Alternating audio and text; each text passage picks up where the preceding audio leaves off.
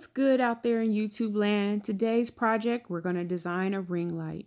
You'll need aluminum foil, ties, scissors, a large wreath, and a paper towel holder, and your lights, your LED lights.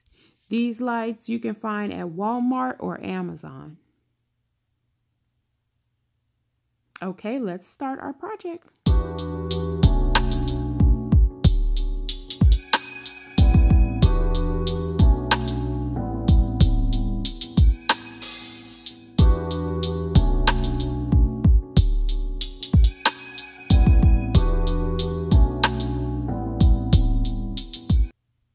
Okay, here we are. We're going to use aluminum foil to wrap around the base of the wreath frame. This large wreath frame you can buy at Walmart, and that's where I bought everything. My total is about $23, $22.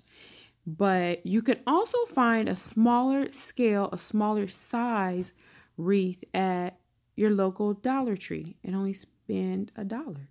Everything's a dollar at Dollar Tree. So as you see, I'm wrapping this foil around this wreath.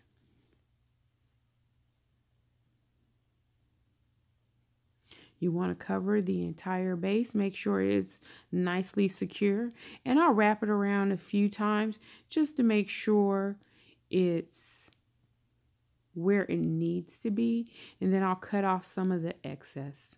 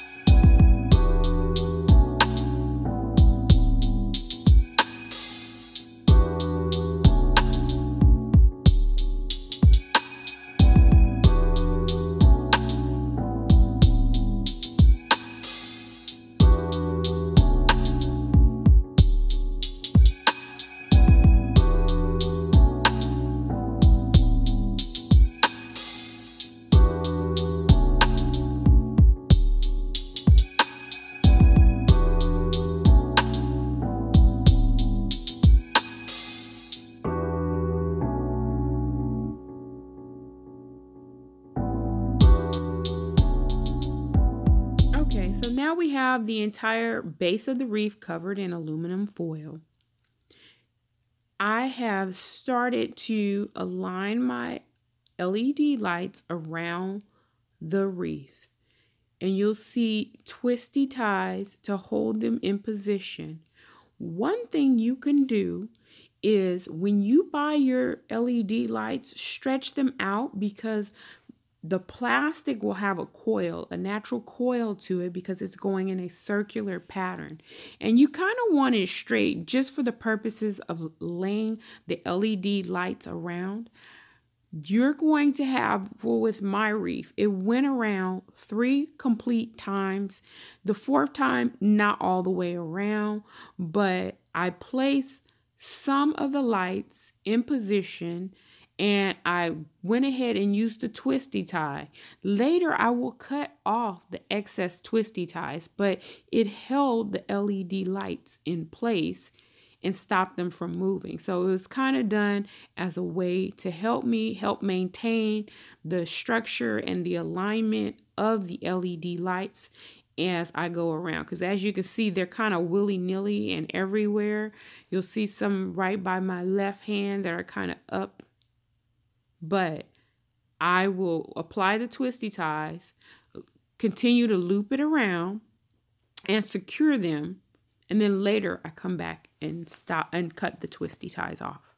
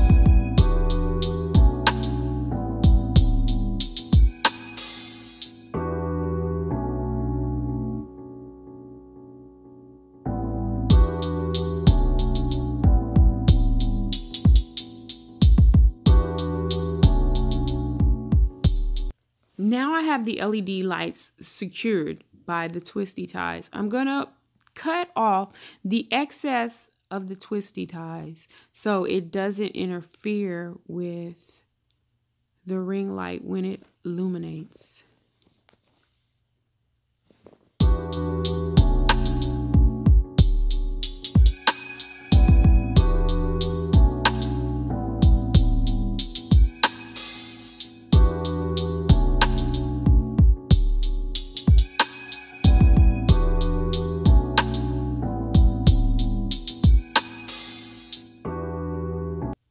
As I finish cutting off all the excess twisty uh, ties, I move them out the way. I dispose of those.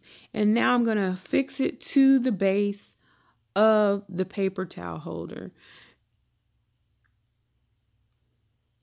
Here, I, I kind of took a shortcut. You didn't see me actually do this because it was a little hard to film, but I have the ring light secured to the base of the paper towel holder. And I used about about six or seven twisty ties here. However, there was an issue. Okay, here's the finished product. Here's my ring light. You'll notice here, the hardest part about the ring light is the twist ties right here. Trying to make it stand up with the holder is not as easy as it may appear. I used about 10 twisty ties up here and then a couple down here to kind of stable it out. But overall, it works. And I'm going to show you here shortly. But it's fairly easy with the exception of trying to assemble it together. Now, I'm thinking about just taking the ring light and fixing it to my tripod later. But this is how it's going to be for now. And then you'll see that when I put this video together, it's on different days. Make sure you test your lights out when you buy them because my problem was my lights.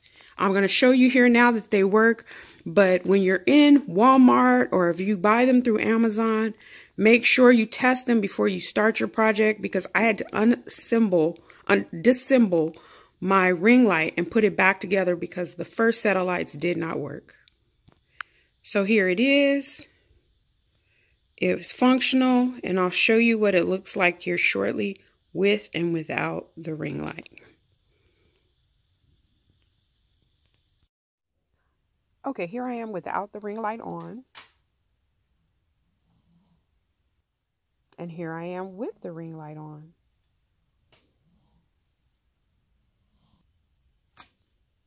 Thanks for watching my video. Bye.